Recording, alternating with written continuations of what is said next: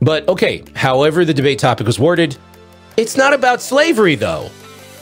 What a meandering missed opportunity here. Make Dr. White support himself in an area of scripture that you think he's weak on. Make him defend his contentions that you believe are weak and should be challenged. But that means that you got to pay attention to his contentions in his opening statement. Don't ask him to defend something that isn't even up for debate tonight, though.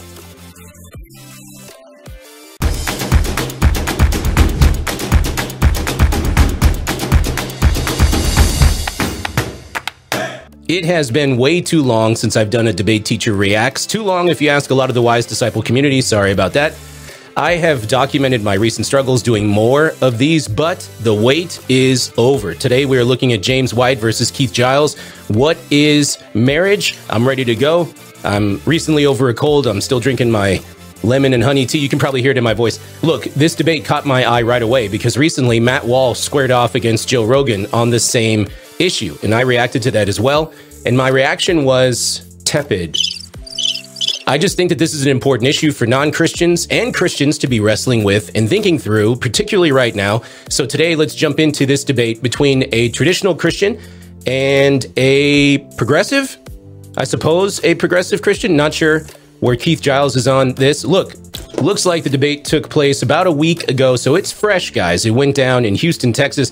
Thankfully, it wasn't Dallas because recently a lot of Dallas got shot down because of a huge ice storm. So it looks like the forecast in Houston no ice, but 100% chance of clash. That actually hurt me physically to make that joke. All right, that's enough out of me. Let's just jump right in, shall we? Since it's what everybody is thinking about toward the end of your last uh, statements, um, you said that eunuchs are mentioned in the Old Testament law. Uh, what specifically is said about them? Um, I believe there's a passage about how they're not allowed to enter the temple. I think it's in a passage um, in Leviticus, if I'm not mistaken. Um, thank you. This says something about um, how the lame or those who have mental illness or any other kind of birth defects or infirmities or if they are eunuchs, are not allowed to enter the temple of God. So, okay, so real quick, let's get caught up to speed. Uh, Dr. White took first opening statement and he built his case based on this contention. If the Bible is the Word of God and Jesus is who he claimed to be, which is the Word of God, then we should pay attention to Jesus' teaching on marriage. So far, so good. He then went to Matthew chapter 19. This is where Jesus is asked about proper grounds for divorce, and Jesus quotes from Genesis to talk about not only the definition but also the spirit of marriage. And then Dr. White exegeted the passage, which I just have to say, I really appreciate Dr. White when he kind of does this, this stuff. He is an excellent debater, but when he gets up to that debate stage, he's never not a pastor. And that's awesome. Mr. Giles, in his opener, took a less linear approach. He said that we shouldn't read the Bible according to a flat perspective, as he calls it, but according to a Jesus centric perspective or view. And so when Jesus speaks in the Gospels, then we can finally understand what the Bible is saying, what it's talking about, particularly when Jesus comments on the Old Testament, which Jesus tends to do. Um, and I suppose the tactic here is meant to disqualify the Old Testament writings on marriage and extrapolate a view of marriage based primarily on the things that Jesus said. Mr. Giles then listed what he perceives as a lot of misunderstandings of various issues in terms that come from the Bible, like husband, like wife, marriage, gender, all of that. One of the things that he said about gender, and this is why Dr. White is asking the question, is that according to Jewish rabbis, going all the way back to the Mishnah, to the Talmud, to the classical Midrash, Jewish law codes, there are six different recognized genders. One of those genders is intersex, and another is eunuch. So Dr. White starts off the question about eunuchs. If there is a um, physical deformity of the male sex organ, this individual was not allowed in the congregation of Yahweh. Is that correct? Um, I would say yes. I think that that's the way they understood what what they were saying was that this person must have had a deformity. Yes. Okay. And you are saying that that is a third gender? I'm saying that that is the way Jewish um, teachers understood that. To be, they understood that as not a male or a female, but something in between, a third. What gender. Jewish teachers? I can't name them by name, but I can show you the research that is that I've looked at from not just one single source. That there are a But series. when, when, but when did they write? When did they write? When? What? What time period? Um, there are old uh, going back into the um, midrashes. Um, there are references in the Torah But to these to Torah eunuchs is as being- Moses, right? So this is extremely important. You have to have, if you're going to refer to authorities and appear to refer to evidences that can be cited, you have to have those citations ready to go. You have to have them in hand and be ready when asked to cite them, because you probably will if you're dealing with somebody who knows what they're doing on the debate stage. When you say, Well, I don't know their names, when you get up during rebuttal and you say, Well, you know, if you want my research, let me know afterward and I'll email it to you. Um, nope. If you do these things, you've missed your moment. You absolutely should not refer to evidence that you are not willing to cite, especially when asked directly for them in cross examination. So good on Dr. White here. Yes, the Talmud. I'm sorry, misspoke. Okay, right. The Talmud. I think you might have misspoken earlier when you yeah. said. okay, I uh, apologize. The Talmud. Okay, all right. I think that's an important clarification. Yes, thank you. Okay, so, uh, so these, uh, the, the, the, uh, the Mishnah, Gemara, and then the final Talmud, these are many, many, many centuries after Christ, right? They were written down that at that time, yes, but I believe the understanding from the Jewish people is that these were um, things that had been passed down for quite a long time before the, the written copies of what we have now. But we have in the Mishnah uh, material from 250 to 300 years after Christ. Yeah. Is there anything in there that uh, is, is substantiates any other view than a one man, one woman, gender binary marriage relationship? Not that I'm aware of, no. Okay, all right. Um, in Matthew chapter uh, 19, Here we go. I, I need to. a- a- Am I correct in hearing from your comments that you don't agree that Jesus is establishing the normative reality of a gender binary in creation in verse 4? Is that true? Okay. So this is classic James White. Um, I haven't seen a lot of James White debates. You probably have seen more than me, but I've seen enough to notice that this is his move. And by the way, it's a good move as a debater. When you build your case, and, and in these kinds of debates, exegesis is necessary, it's involved, right? And then your opponent challenges your exegesis in their rebuttal then by all means pull your opponent onto your playing field. Matthew 19 is James White's home field, so to speak, and he wants his opponent to play on his turf because you can challenge contentions that your opponent makes and you should in cross examination. But when you get your opponent to talk about your contentions, now you're doing two things at the same time. You're drawing out clash in an attempt to undermine your interlocutor's arguments against you, but then you're also what's called advancing your case. Advancing your case simply means that you're focused on furthering the contentions that you began with in your opener. James White's opener was all about Matthew 19. So he advances his case and bringing it up in cross examination. This is a really great move. Um, I would say what, what I'm saying is that Jesus is, um, he's doing that pattern of what he continually did. You have heard it said, and then he would quote the scriptures, and then he would say, sort of, a, but I say to you. So he's not negating it, he's agreeing with them, um, the Sadducees. This, this is their perspective, yes, answering their question about specifically, can a man divorce a woman for any reason? He quotes the Genesis passage. But I think just by, by virtue of the fact that in that same conversation, it's in that same context, it's not another day, it's not the next day, it's not another chapter. Um, it's in that same context of that question about uh, where he quotes Genesis, the, the very virtue of the fact that Jesus would bring up what I believe many Jewish people would have understood as being a reference to a third gender type and honors it and says that this is something he understands is probably beyond their ability to, to grasp. Um, by virtue of the fact that he brings that up, I think he is introducing some new idea. Okay. Uh, So you see why this is a good move. When your opponent has to find the words to defend their own interpretation of the text, and it's difficult to explain, as it appears for Mr. Giles, it's a little bit difficult, right? This works in your favor. Why is that? Well, because the judge, in this case, the audience, right, can see the struggle. The struggle is real. The, the premise of the interchange in Matthew 19 is right in verse 3. So do me a favor, open your Bibles uh, to Matthew chapter 19, because I, I feel, I get the sense that uh, James White is going to park here for a little while and just track along the discussion on stage to Matthew chapter 19. It says it right in verse 3. I have my Bible open. It's right in verse 3. The Pharisees came up to, to him and tested him by asking, Is it lawful to divorce one's wife for any cause? Right? Mr. Giles is arguing that Jesus decided to respond to this question by saying, you know what, everybody, this is a great opportunity for me to tell you about gender non binary categories.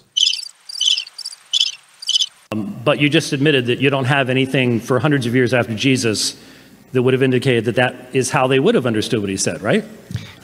Um, I would say that, again, what I quoted earlier, that um, there are multiple sources, Jewish sources, rabbis, um, I believe before Jesus and after Jesus, not just after Jesus, that affirm this, the six different gender types.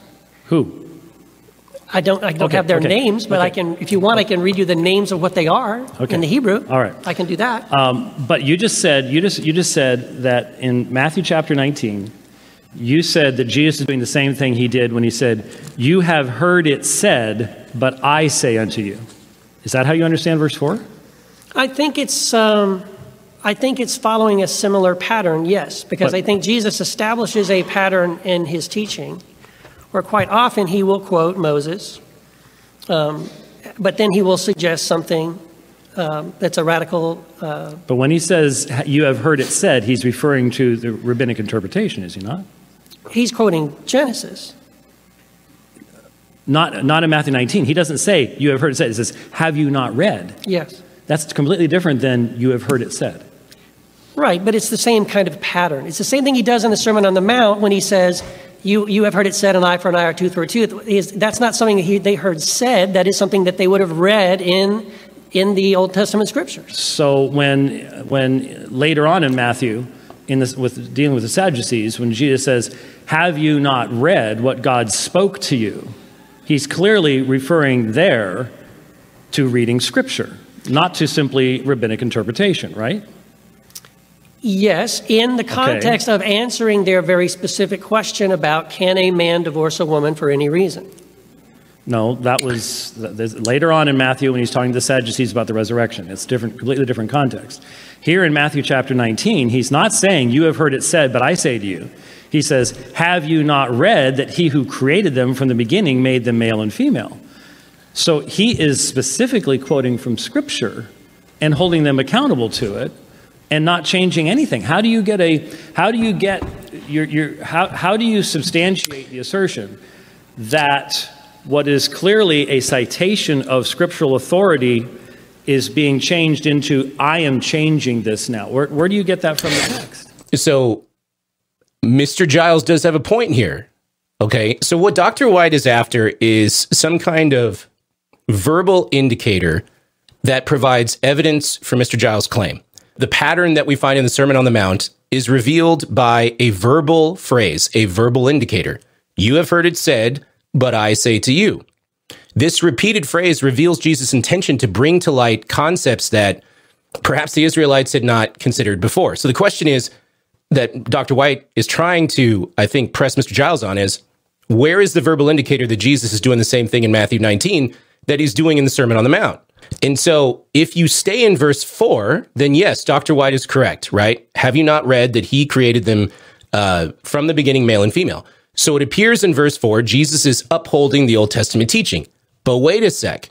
In verse 9, Jesus does say, And I say to you, whoever divorces his wife except for sexual immorality and marries another commits adultery. So now Jesus is revealing something that the Israelites had not considered before with regard to marriage, which is why his disciples approached him afterward and responded the way that they did. By the way, this doesn't help Mr. Giles' overall argument. Okay, because here, Jesus is not adding liberties and freedoms to the Old Testament teaching. He's certainly not changing the subject to talk about gender non binary categories. He's actually restricting the reach of the understanding of the law. Why? Because he's revealing the spirit behind the law one man, one woman, one flesh for life. Well, again, in the same way that in the Sermon on the Mount, when Jesus says, and he quotes an eye for an eye or tooth for a tooth or things like that, um, or when he says, you know, God sends rain on the just and the unjust, which is a direct contradiction of what Moses says in Deuteronomy. He follows that pattern. When he's speaking specifically uh, to the Pharisees and the Sadducees, he will quote their scriptures, but then he will offer a corrective or something to. Um, to advance those ideas farther than they are comfortable. He even says that in the text when he says, Not everyone can accept this word, but only those to whom it is given. For some are eunuchs because they're born that way, others were made that way, others have renounced marriage because of the kingdom of heaven. And the one who can accept this should accept it. So don't you, you, I'll ask you when it's my turn. yes. Don't you see that you are uh, taking the initial answer that he gives, then the disciples respond to that and react to that, and then Jesus is now addressing their question, but you're taking this later discussion and reading it back into the actual answer that Jesus gave. And the result is we don't know what the answer he gave actually means. He's, does it, does it, can we agree that Jesus taught that the scriptures teach that God created man, male and female? So notice, so this is really difficult, okay? And everybody has to be careful here because all of this happens in real time on stage in front of a lot of people. The heart is beating, you know, everything is happening. We have to be very careful as interlocutors on stage, especially during cross examination, to not make speeches.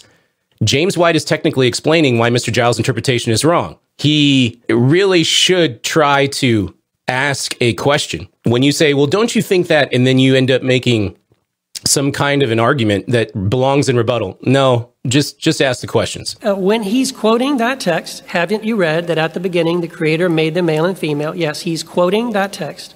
Yes. Oh, okay. To answer a specific question about can a man divorce a woman for any reason? So it shouldn't shock us that he's quoting something that specifically is talking about a man and a woman.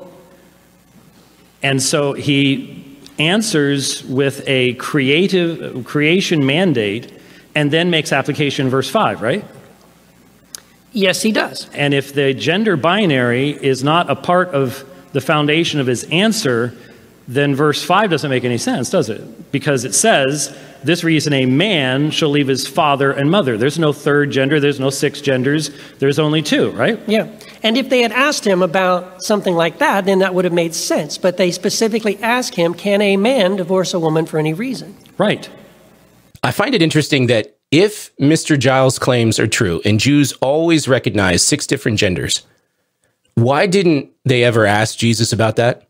If it was really something they were wrestling with themselves and everybody knew about it, the way we know about it today, why didn't they challenge Jesus on that issue? Seems to me a lot of these scribes and chief priests and such, they were seeking to trip Jesus up on various issues in order to get him into trouble. And that's literally what some of the gospels say. In this in the same way that they asked Jesus a question about taxation and Caesar, right? Why didn't they ask Jesus about non-binary folks? He answers uh, in, by quoting scriptures about a man and a woman. Why would we expect him in that answer? But a okay. few sentences Is there later, anything else he could have quoted that would have said anything differently? Well, no, because again, this, this as I said in my opening, um, we're not. We shouldn't be looking at something to say, is it biblical? We should be saying, is it Christ like? Because Christ, Jesus does come, and one of the things that Jesus does is he reforms our ideas and our views of who God is and what God is like. And so this is a, a, situation where, yes, he begins by answering their question and saying, okay, yes, can a man divorce a woman for any reason? Yes, and here's a verse about a man and a woman leaving, you know, leaving your father and mother, cleaving to your wife. But the, then he, the answer, because he gives it the way he does, and now taking power out of the man's hands in the, in the marriage relationship, now they are no longer able to oppress women in this way. Is there anything about power or oppression same, in this text? It's the same answer. It's the same conversation. The fact that he just turns to his disciples and addresses their shock at what he said.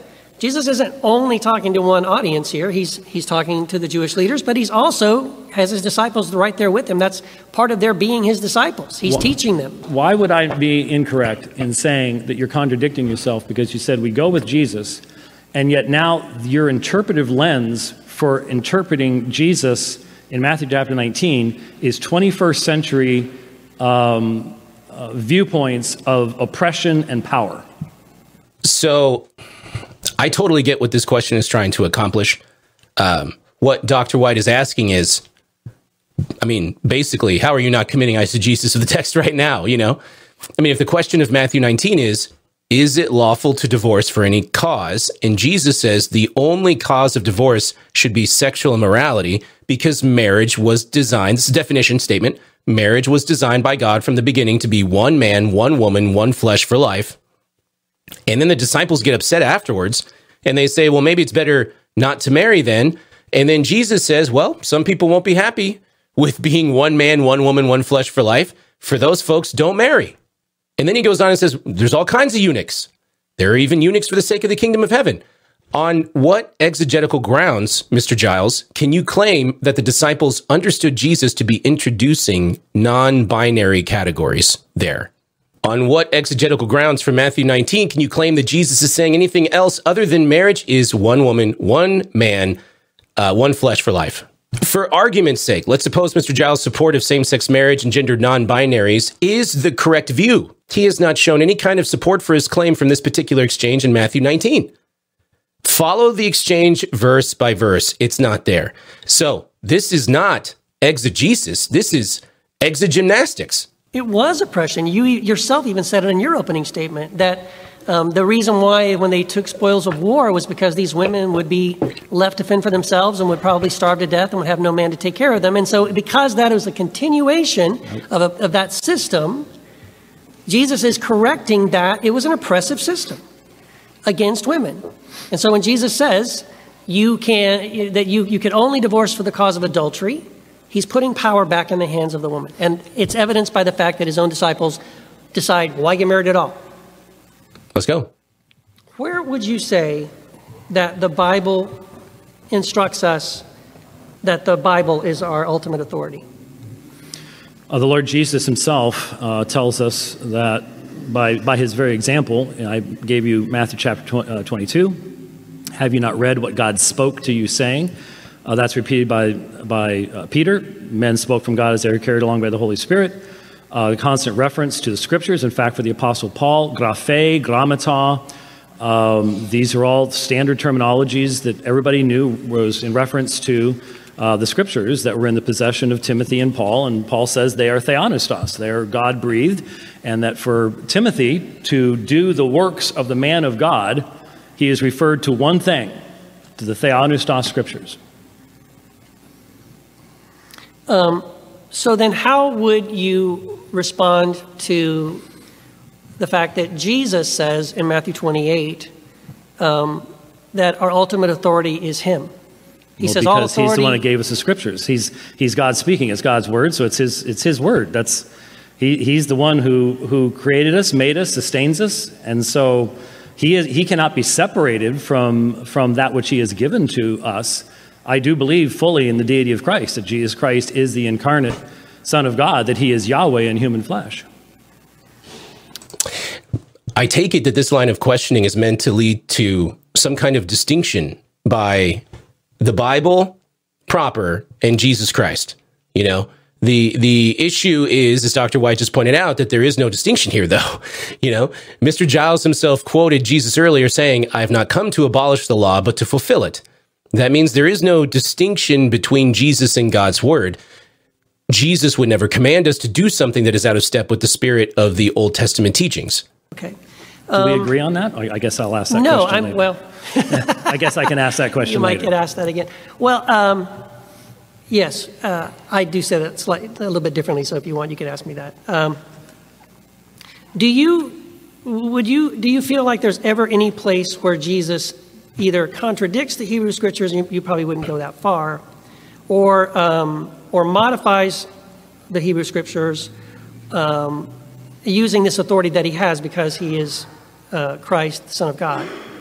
No, obviously, what Jesus is doing in the Sermon on the Mount is not modifying the Hebrew scriptures. He is uh, rebuking the traditions of the elders that have been added to the scriptures and have become the lens through which the scriptures have been viewed. So the prophets did the same thing over and over again. God gave them the sacrificial system, and yet they then turned it into a, a business venture that no longer represented individuals who are repentant for sin.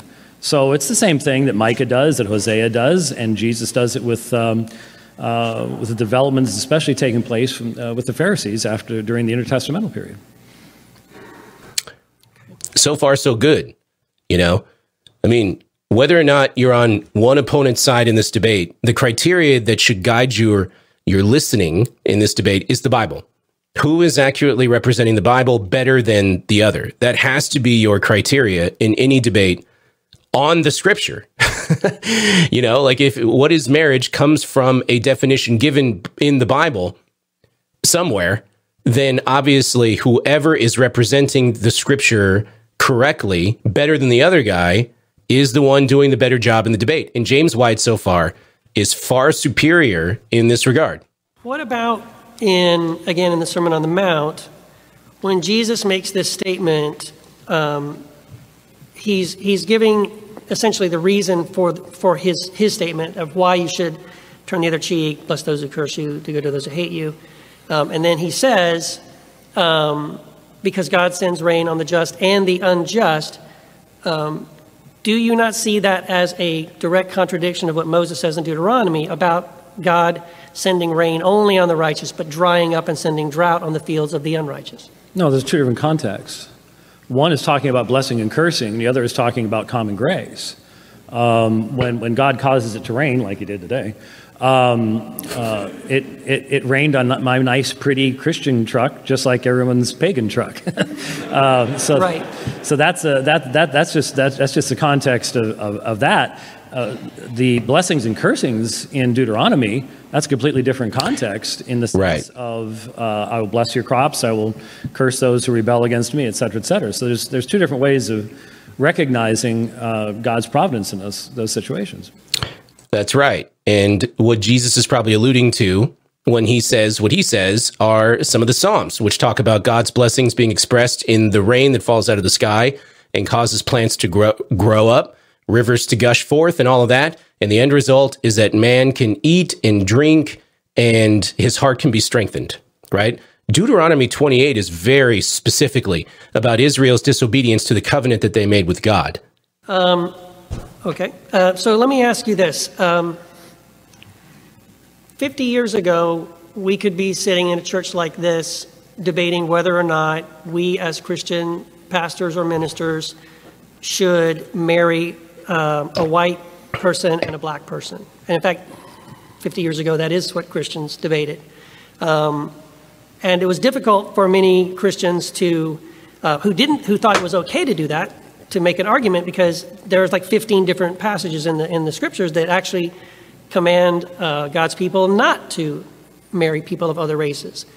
So here we are today arguing a different subject, and you said in your opening uh-huh. um, that for us to change our minds on something as fundamental as this question of marriage. Um, that we would need sort of like this overwhelming biblical support. We'd have to do some exegesis. We'd have to find some proof that God didn't say this, or oh my gosh, God said this other thing and we misunderstood it.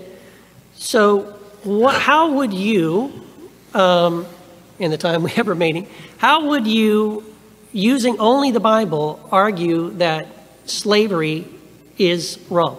Okay, you. Okay, let me double check.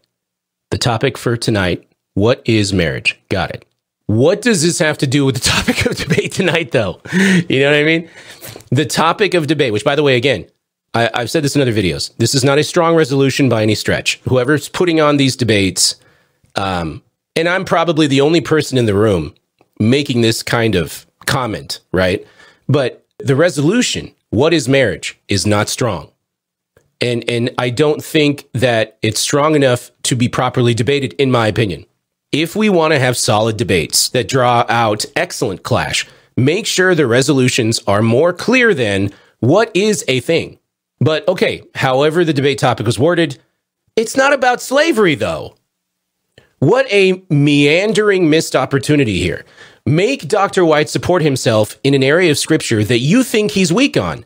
Make him defend his contentions that you believe are weak and should be challenged. But that means that you got to pay attention to his contentions in his opening statement. Don't ask him to defend something that isn't even up for debate tonight, though. You've just taken precious time away from poking holes in Dr. White's contentions. You presented a, a bunch of different things there.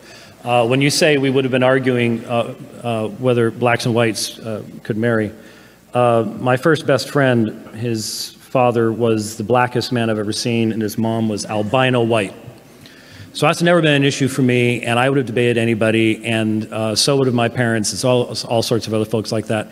There is absolutely, my friend, no way to parallel the clarity of the Bible's teaching on the nature of marriage with the abuse of scriptures in regards to something like that, because we clearly have the over and over again repeated statement in scripture that there is neither male nor female, notice gender binary, not there's 447 genders, but there's neither male nor female, there's neither Jew nor Gentile, bond nor free, Scythian, that's a race, um, all are one in Christ Jesus. And so you have the clarity of that statement, along with the clarity of the teaching of the entirety of the Bible on the gender binary and marriage. And so comparing the two of them is simply an impossibility, but then you switched from the illustration to slavery. And uh, the argument there would be what kind of slavery are we talking about? Because the scriptures allowed for slavery in war, and again, it was to preserve life. And people don't understand that. If, your if your husband and your culture or your, your city has been wiped out, and you, you, you're not going to have any means of, of, of preserving life. So God has always been about preserving life even in situations where you were living in a culture that could not produce the amount of food that would allow people to stay alive without those support structures. So the issue is are we talking about Roman slavery? Are we talking about Greek slavery? Are we talking about man stealing? Are we talking about those types of slavery? It's very clear what it says there. But slavery has existed throughout human history, continues to exist today, and God's word actually addressed it and said this is the only way that this can exist for the purpose of life. And we're afraid to say that. I'm not afraid to say that. There, I don't believe there's such thing as problem passages in this book. They're just passages that I'm not willing to submit myself to. So, is there a specific place where God tells them, the, the Jewish people, the nation of Israel, to take slavery for the specific reason of preserving life? Well, when, when you say for the specific reason, everyone would have known exactly why that was necessary. Everybody would have known what would happen if you did not do that. They were allowed to do that. And, but it was only within those certain confines. That was a, you know, you can say, well, it doesn't say for the preserving of life. Well, everybody who was reading it would have understood exactly that because everybody understood what happened in war and what would, what would take place once a city, like a city state or something like that, was destroyed. Um, but when the when the scriptures talk about slavery, they in like in Leviticus, it also makes God seems to make um, a provision not just for, uh, as you're saying in the spoils of war, um, for if you if it even is the case that it was for preserving of life, I think that's uh, that's debatable. But um, there was also the encouragement of permanent slavery. Um, in other words, like you would if you took someone as a slave who was uh, another Jewish person there was a time frame on that. After mm-hmm. a certain time, they could win their freedom. But if they or they could remain right, or if they wanted to remain, they could. Yes, mm-hmm. the, the, the, all on the ear, etc. Mm-hmm. Um, but there was also provision for permanent slavery that that, that person would be. A- what does this have to do with the price of tea in China? You know that's what Dr. White is thinking right now. Like, what does this have to do with the debate tonight? A slave forever and do you see that as something that would be, is that moral? Is that acceptable? Is that, is that for the reason of saving their life? It still seems like it's more for the purpose of making that person a slave forever. My Lord and Savior, who rose from the dead, said that God's law is good and just and right, and that not a jot or tittle of it would fall. And so I am going to trust His goodness in any situation where I do not have the information to answer any question about a specific example in history. I can trust God to be good because he always has been. I mean, that's certainly something that you can say in response to this kind of questioning. I I just wonder if that's the best thing that a Christian could say. I mean, why not just go ahead and point out the obvious, right? That slavery is not as important as eternal damnation. It's just not. And so, if God decides to choose to redeem individuals for the purpose of saving them from the end result of their rejection of Him, which is hell, and make that the primary focus, knowing that slavery will come to an end over time once folks stop rejecting their Creator and, and living in the design that God intended for them originally in the garden, well, then what's what's the problem? The only problem with slavery is if you presuppose that the only life you live is here and now. Because then, when you're a slave and you live whatever, 80, 90 years, you die a slave, your life was a total waste. Except if there is an eternal life after this one, where there is true justice and no more death and weeping and sickness, etc., and that eternal life dwarfs your 80 years on earth, what's the problem? It's not a very emotionally persuasive thing to say. But I mean, I think James White is not somebody who shies away from saying emotionally difficult things. I mean, there, there's something else you could say as a Christian. I will uh, go ahead and uh, ask the question uh, that uh, we made reference to earlier. Um, you said you would not use the terminology that I use in regards to the person of Christ. Mm. Um, do you not hold to what would be uh, considered to be uh, a Nicene definition of Jesus Christ being the eternal Son of God um, in the sense of a unique relationship to the Father? I don't recall saying that I had a different. So I, I, can see this play out like this, right? Objection, Your Honor, relevance, right? And Dr. White saying, well, you know, I'm seeking to determine Mr. Giles' credibility with regard to his unique interpretations of Scripture. I mean, perhaps he actually has uniquely interpreted himself outside the bounds of orthodoxy as it pertains to even Jesus Christ. Hence the question about the Trinity. I'm sorry, that just that played out in my head. Thanks for watching. Viewpoint on Jesus with you. I said I, I approach the scriptures differently. Um, so, no, I wouldn't have a problem affirming uh, the Nicene Creed or the Apostles' Creed. or. So, Jesus is Yahweh incarnate? Yes. Okay. Uh, that's that. That was. Uh, would you uh, would you say that he has a unique authority that no other religious leader, Buddha or any of the Zoroastrians or anyone else uh, would possess? As far as I'm concerned, yes. Okay. As far as you're concerned. Well, you're asking me, so I'm telling you what I what I believe. Yes. Okay. All right. But if if he truly is the incarnate one, our opinion of it doesn't change whether. Well, what I'm saying is that yeah, I believe that, and I would affirm that. But obviously, not everyone does. Okay. Uh, when we go back to, uh, we, we were trying to work our way through uh, the issue, and I was uh, basically trying to, to say to you that in Matthew chapter 19, uh, the end of Jesus' answer is verse 6. Is that not correct? When he says, So they are no longer two, but one flesh. What therefore God has joined together, let no man separate. Is that, is that an answer that remains uh, valid and binding upon everyone today? Or just Christians? Um, well, that's, that's kind of uh, maybe the nuance of what we're trying to discuss here tonight. Um, obviously, if you're not a Christian, then those scriptures, those words, don't have the same kind of authority for you. Um, I don't agree, though, that that's the end of the question because he, he answers in verses 4 and 5 and 6. Then they ask a follow up question Did Moses, why, why did Moses give the command to give his wife a cert certificate of divorce to send her away? And he answers, he, he clarifies that. And then the conversation continues. That is not the end of the conversation. So we're, we're, we're multiple questions down the road now.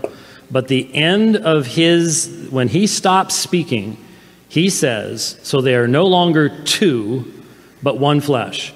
Is marriage numerically limited to two?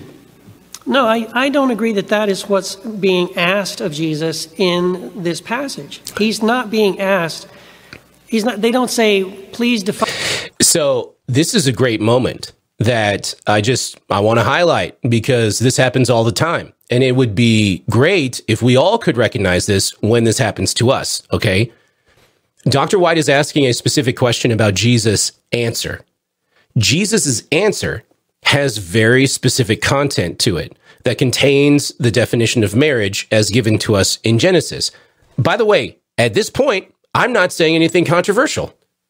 Everyone recognizes that God defines marriage in Genesis chapter 2. Why? Because it literally says this is why people get married because the woman came from the man's flesh. By the way, you realize that, right? Marriage, particularly the marital relationship, is a reflection of man and woman's relationship in their own creation. Woman was created out of man's flesh. And so in marriage, the two flesh become one again. This is a definition of what marriage is and what it is meant to be. One man, one woman, one flesh for life. But that's not how Mr. Giles is answering the question. Okay. Again, Dr. White is asking about Jesus' answer. Mr. Giles is responding by saying, well, that's not what Jesus was asked. Dr. White is not asking about what Jesus was asked. He's asking about Jesus' answer. Find marriage for us, and then he says, "Oh, well, let me tell you, marriage is between a man and a woman." He, he, there is a, there is a conditional thing they're asking about marriage between a man and a woman, and could that relationship between a man and a woman end in divorce for any reason? And then, in reaction to that, he answers that question. But Jesus never. So, Mr. Giles is already off on the wrong foot here. He somehow seems to think that the question posed to Jesus somehow alters the nature of Jesus' answer. Spoiler alert, it doesn't. Jesus is asked about divorce. Jesus then gives the definition of marriage. Why does he do that? The definition of marriage answers the divorce question. It's for life, y'all. And then marriage bros get mad, right, in the first century because they don't like that kind of finality. And so then they approach Jesus. Jesus says, Well, marriage isn't for everyone. It's only for those who can hear and obey my answer. You know, eunuchs don't get married. So that is now what I've done is literally line by line how the conversation tracks and why it went that way. Mr. Giles cannot go line by line and get to his interpretation of the conversation. He can't do it. So, first, he has to suggest somehow Jesus' answer is not meant to be a definition of marriage. And the way that he does that is by saying, well, you know, they weren't asking for a definition of marriage. It doesn't matter what they were asking. It doesn't matter. What matters is that the answer to their question comes out of the definition of marriage. Or even says divorce, does he? They do. It's Right. the question that and they're his asking. answer is to go back to creation. right. And in the creation narrative, he says, So they are no longer two, but one flesh. Is that the creation standard for mankind for all time? Uh, I would say it's the standard for men and women in in a marriage between a man and a woman. If they if if if you ask me how to make orange juice and I mention specifically water and orange juice, I'm answering your question and I'm talking about the ingredients of orange juice, which is water and orange juice, uh, maybe some sugar. But uh, it, it's it's a specific answer to a very specific question about what happens at the end of a marriage between a man and a woman. And yet, he doesn't talk about divorce. Instead, he talks about, for this reason, a man shall leave his father and mother, be joined to his wife. The two shall become one flesh. So they are no longer two, but one flesh. What therefore God has joined together, let no man separate. The last line refers to not man being able to separate, but everything that came before that is fundamental creation ordinance. Are you saying it's not creation ordinance that this that there would be people for whom it is not true that they are no longer two but one flesh? Do you believe do you believe that two men can become one flesh? Not in the same sense that it's being talked about here, but again, I, I think there is a context going back to Genesis of why. What is the context of that of that scripture? It's the you know we only have two people, Adam and Eve, that have just been created, um, and then they are given this command to be fruitful and multiply, and it's in that context that the man and the woman would the man would cleave to his wife and they would bear children and they would you know multiply and subdue the earth i mean let's fast forward we're like 7.4 billion people. We did it. Good job. I think we accomplished our goal.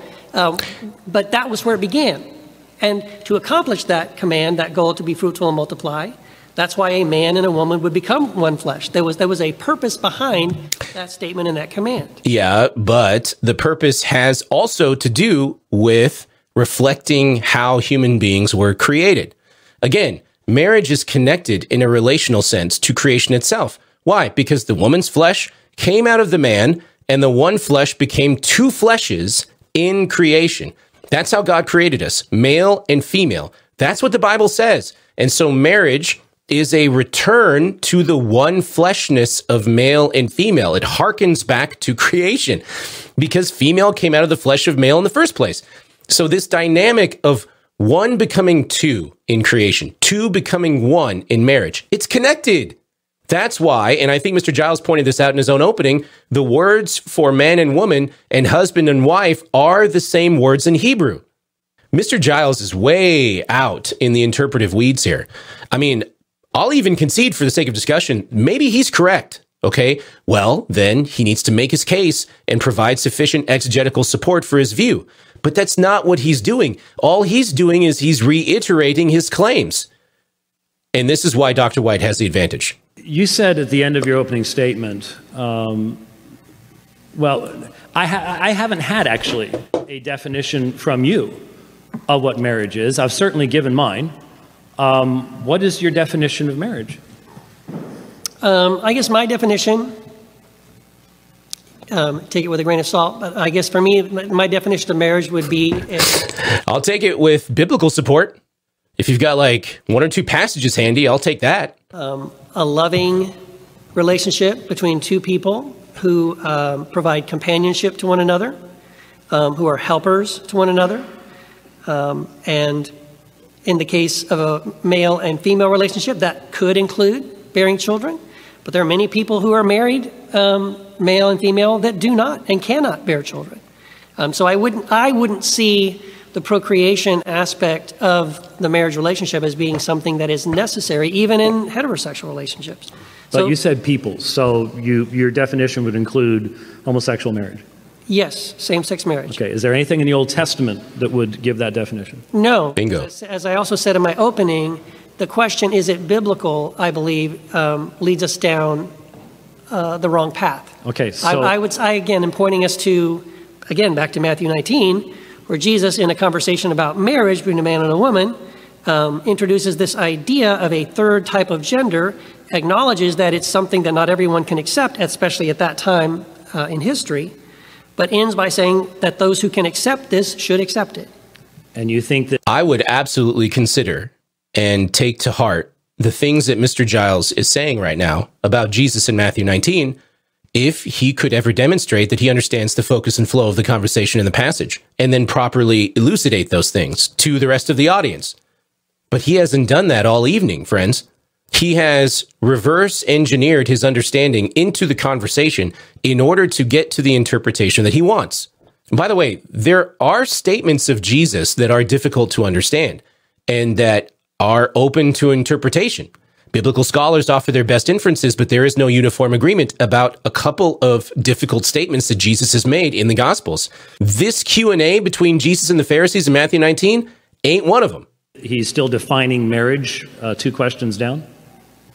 I think he's um, asking us to um, do what he says at the beginning of the Sermon on the Mount, which is metanoia in the Greek, which is quite often translated as repent.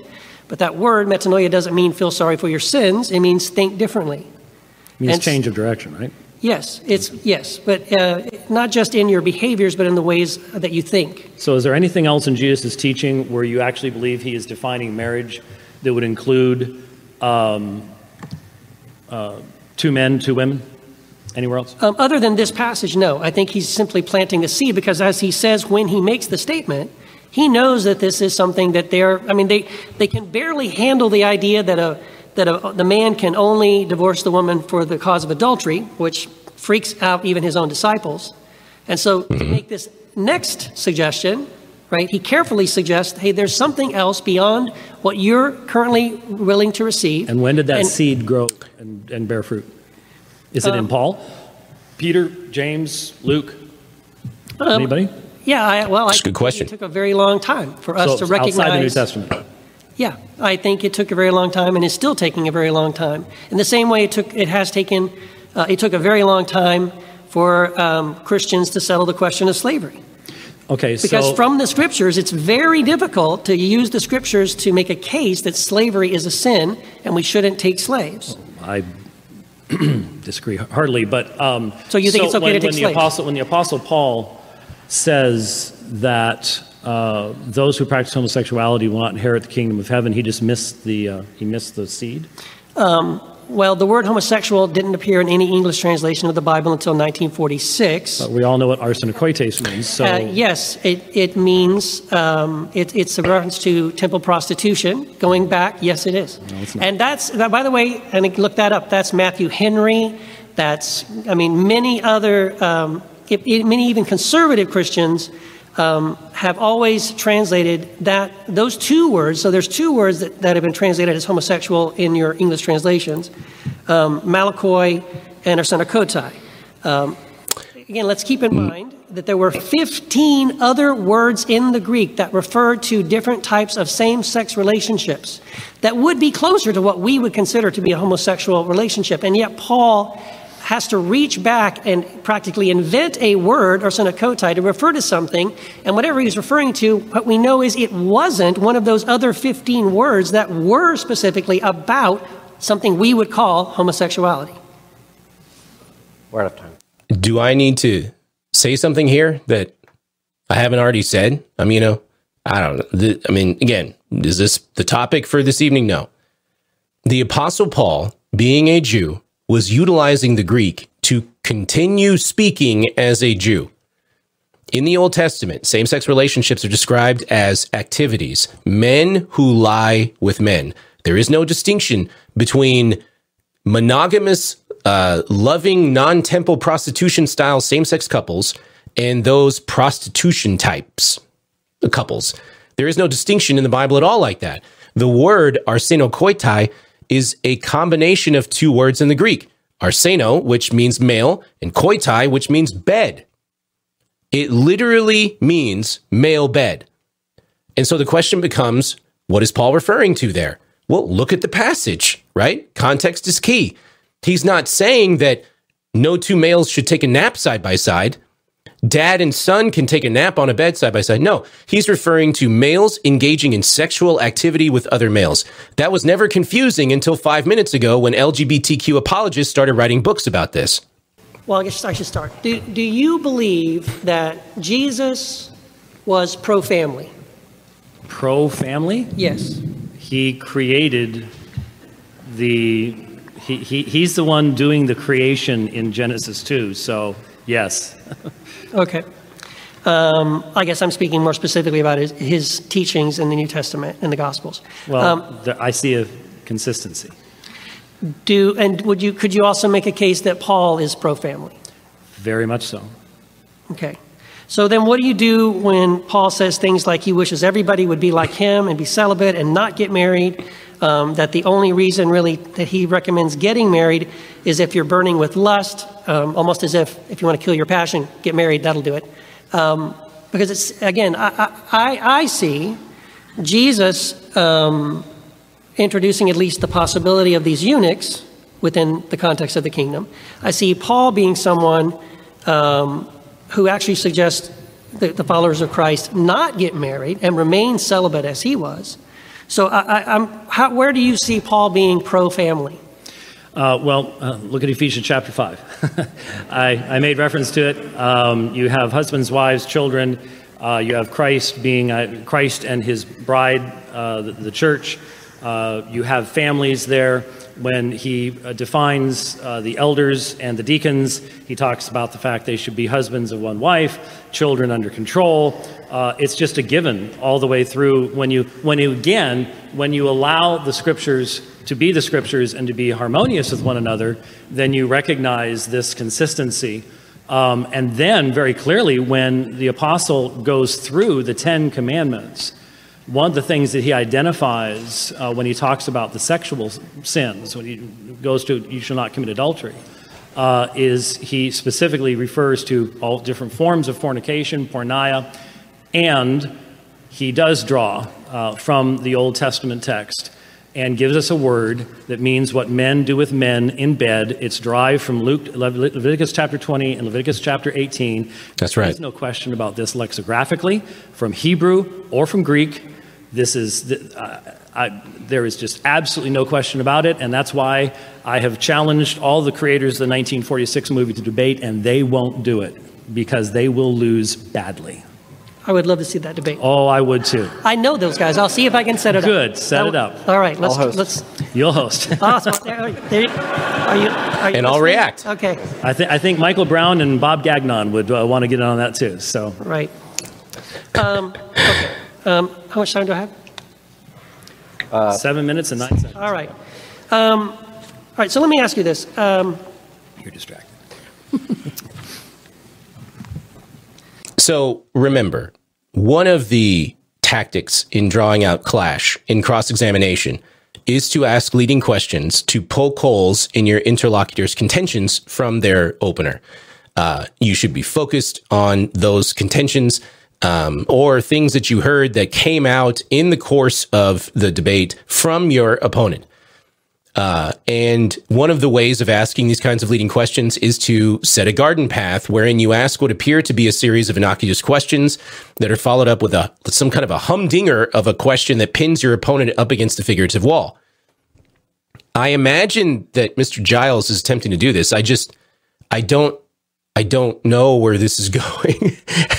I don't see where this is leading. Um, I'm looking for the knockout. Let's let's see what happens.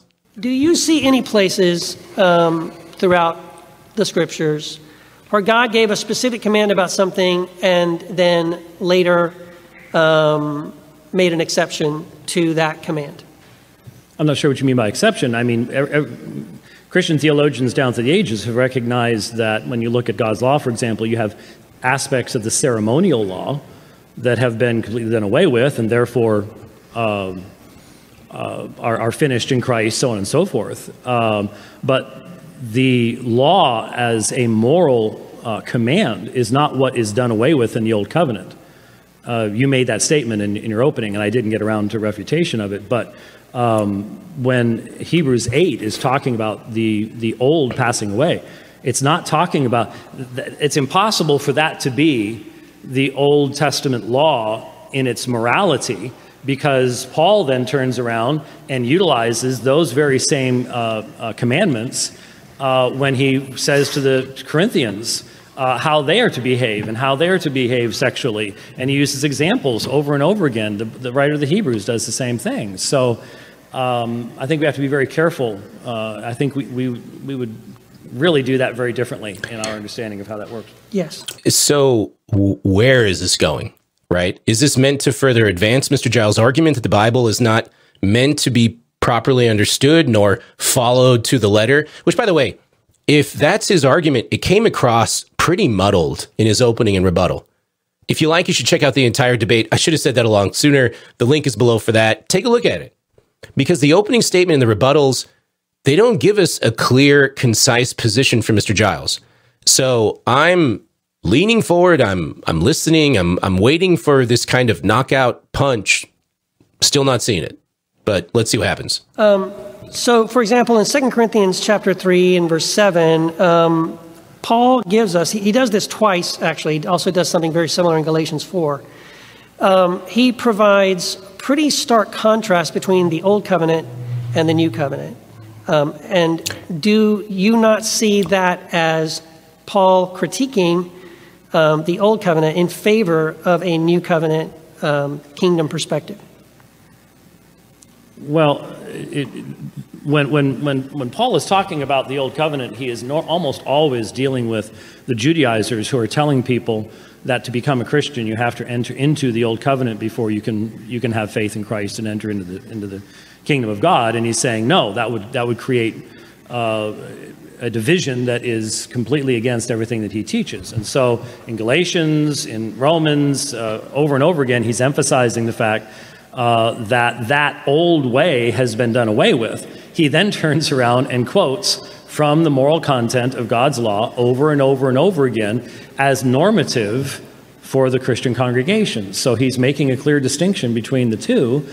And I, am assuming the reason we're talking about this right now uh, is because it is that Old Testament law that is so clear in regards to the gender binary and the, uh, the nature of marriage. Um, well, so when Paul, again, it's just that the language that Paul uses um, going to 2 Corinthians 3. Where? What verse? 2 Corinthians 3, uh, verse starting verse 7. Okay. Um, Letters so, engraved on stone? Yes, mm-hmm. which is the Ten Commandments. I mean, what, what, other ordinances do we have engraved on stone other than the Ten Commandments? Right. And if they are viewed as he lays it out in Romans chapter 2, as we possess these things, therefore we're right with God. What does he say in Romans chapter 2? No, you possess them, and that only increases your guilt before God. His whole argument in Romans 1 and 2 is hey, look at the Gentiles. And Jews are going, yeah, yeah, go get them, Paul. And then he turns around in Romans chapter 2 and yes. says, yeah, well, you possess the law and you don't keep it. And therefore, in Romans mm-hmm. chapter 3, that's why all have sinned, Jew and Gentile. Mm-hmm. There can be only one Christian church because there is only one way of righteousness before God. That's the imputed righteousness of Jesus Christ. It doesn't matter who it's for. So, yes, if you are, if you are claiming that uh, I know the Ten Commandments, therefore that's my, my get get into heaven free card uh, or be right with God free card, then yes, he's saying no. But then he, he turns around and quotes from that material as having continuing authority in the Christian church over and over again in regards to morality and ethics. Okay. Um, Come on, Mr. We're dangerously close to agreeing on something. So I want. so when you read, it seems like a great guy. This is not a backyard barbecue discussion, though.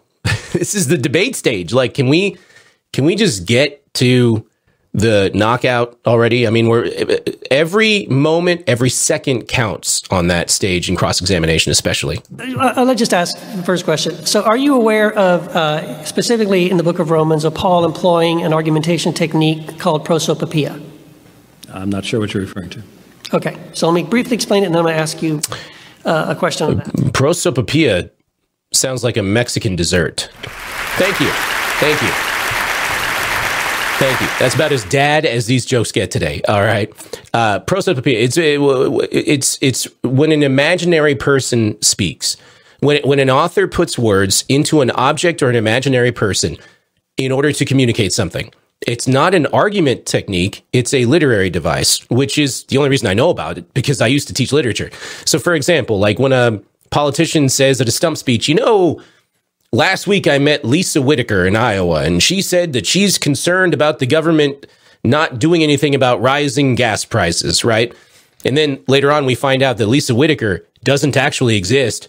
And then the politician gets busted on the media for lying. And then he said, Oh, no, no, no, no, it's uh, prosopopoeia, right? I, I used the character of Lisa to talk about my talking points, inflation, and all that. By the way, this kind of stuff happens in politics, y'all. You got to look it up. It's crazy. Um, so there was a, there's a first century argumentation device uh, called prosopopoeia. Paul uses it in Romans. Some say he, he might also be using it in 1 Corinthians. Um, but it was a common argumentation device where in, in the letter or in the document, it's sort of a mock debate between you and someone you disagree with, right? So that throughout Romans, um, that's what Paul is doing. He's quoting. But you will say, and I say. Yes, oh, exactly. Sure. It's a back and forth conversation. Yeah, well, um, but we don't. That's not. We don't refer to it as prosopopoeia. That's diatribe. That's what we call it. I mean, I don't want to be picky here. I'll just be quiet. Shut up, Nate. Just keep going. So I, I, asked you the question because, in the way you answered the question about the progression of um, saying, "Hey, look at all these awful idol worshiping pagans, aren't they disgusting?" Kind of stirring up his audience, like, "Oh my gosh, yes, we hate these people," and then he turns in chapter two and says, but you are just as guilty because you know the law. In fact, you're more guilty because you know it and they don't, right? So it's that kind of idea, and that continues all the way through uh, to Romans 11. Um, so perhaps it's the wrong question for this debate. Um, but if, if, when you read Romans through that lens of prosopopoeia, um, it appears that the, the point Paul makes kind of culminates at the end of Romans 11. And um, and it probably is the wrong Question? So Well, that's that's because chapter 12 begins the the therefore, the, the practical application of, of given what God has done Yes. in Christ Jesus, therefore this is how we should live. yeah. Oh, so and the I have like a minute left. So let me ask you this then: um, Oh my gosh. Do Okay, all right, okay, okay. Let me compliment Mr. Giles here. He, again, he seems to be a nice man. He's he's careful, he's respectful, and he thinks through his words before speaking. He's, you know, he came prepared. He's got his notes. All of these things are pluses, right? But that that train of thought just cost him precious time in cross examination. He obviously did not have a plan stepping into those questions, and he lost the thread entirely. And for him, this train has already derailed. I mean, I can't see how at this point, this late in the game, he can pull out of this mess in one minute, right? Dr. White has had the clear advantage in these exchanges the entire time in cross examination. Would you agree that um, when Paul and Jesus quote the Old Testament scriptures, they quite they quite often do so in a creative way? And what I mean is, uh, rather than quote the entire passage, they'll leave out the parts about uh, judgment or wrath. Um, Paul, uh, in one example, quotes an Old Testament passage specifically about how God intends to destroy the Gentiles, but turns it around as a blessing for the Gentiles. You'd have to give me a specific text. I'm, I'm not sure what you're referring to. Okay, so um, that, that's my question. Is I, I feel that you made a comment about how um, Jesus quotes the Old Testament and Paul quotes the Old Testament, and um, so what I would And these are not questions. These are not questions, Mr. Giles. Statements are for closing. Coffee's for closers only. All right, all right, all right, all right. I got it. I got it. I got it. I got it. I got it. I got it. Look, this debate it wasn't very much to write home about. I mean, in any debate, particularly between two people within the church. Okay, let me stop. Let me back that up. Let me think of how to say this better. Particularly between two people who should be brothers in Christ trying to argue based on the word of God. There should just be a lot more clash here. The reason why there was not is because from the beginning, Dr. White came out with clear contentions. He made his case largely from exegeting Matthew chapter 19, the definition of marriage, Jesus recalling that in Genesis when asked about divorce. Mr. Giles did not have clear, cohesive contentions. Therefore, his case was muddled from the very beginning. He didn't even clearly, as far as I can remember, give his own definition of marriage. Dr. White had to ask him in cross examination, What is your definition of marriage? And so, when pressed in cross examination, Mr. Giles tried to walk through Matthew 19, but he couldn't rise above merely making claims of the text, of, of reiterating his claims over and over of what the text is actually saying. He was never able to give a clear representation of the focus and the flow of the conversation in Matthew chapter 19. He couldn't even define marriage utilizing scripture as a basis. I mean, these are things he should have been able to do as an interlocutor, and he just fell short. Dr. White is the clear winner of this debate, in my opinion. Now, it's your turn to tell me who do you think won the debate, Dr. White or Mr. Giles? If you think Mr. Giles, let me know why. I'd love to hear why. Uh, Britt, put that all down in the comments below. As always, I hope that this reaction blessed you and that you are able to understand a bit more clearly about, you know, what's going on behind the scenes with regard to debates of this type. Hey, if there is a particular debate you would like me to react to, let me know in the comments as well. I'm going to go away now and drink some more honey tea, and I'll be ready for another video real soon. But in the meantime, I'll say bye for now.